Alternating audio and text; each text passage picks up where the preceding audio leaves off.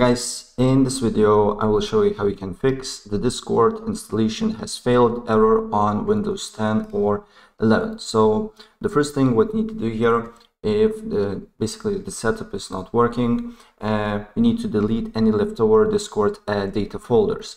And to do so, you just need to uh, press Windows Anaki or just uh, write run on the search bar here. And here you just need to write um, basically a percentage sign percentage sign app data percentage sign. Uh, press ok. And then you need to go to uh, app data local. And then you need to find discord. And you just need to delete all the this folder. Uh, basically it's just leftover app files that maybe can uh, contradict with your setup. All right? And once you download it and try once once you delete it then try to uh, basically um, enter discord setup. And if uh, if the problem persists then another thing that you can do here uh, you can run the discord setup file as administrator. And to do so you just need to right click on it go to properties uh, compatibility and just select this option run uh, this program as administrator right and if the problem persists, then uh, you need to install the .NET framework on Windows. So uh, installation has failed, error can occur because uh, the .NET framework is missing. So what you need to do here is to go to browser, just uh, just write on the browser framework download, and then should be probably the first option here by .NETMicrosoft.com, uh, download .NET framework here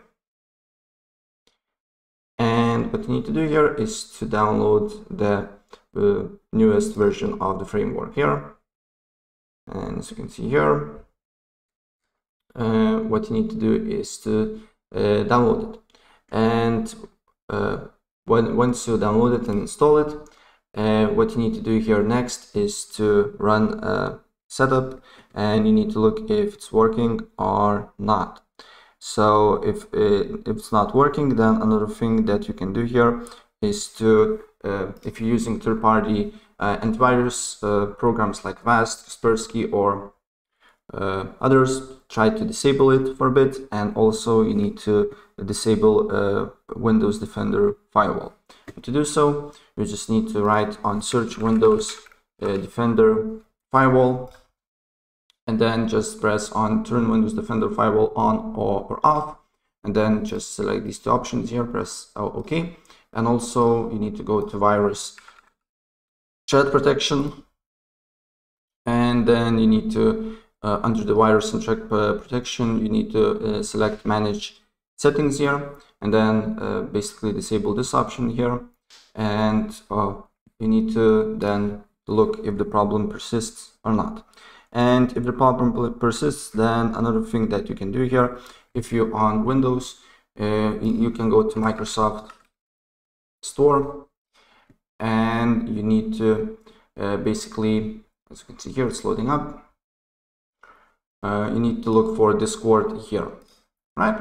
And try to uh, basically get it Discord app through basically Microsoft Store. Right, so that's pretty much it. And if I help you out, please press like button and subscribe for more. Take care. Bye.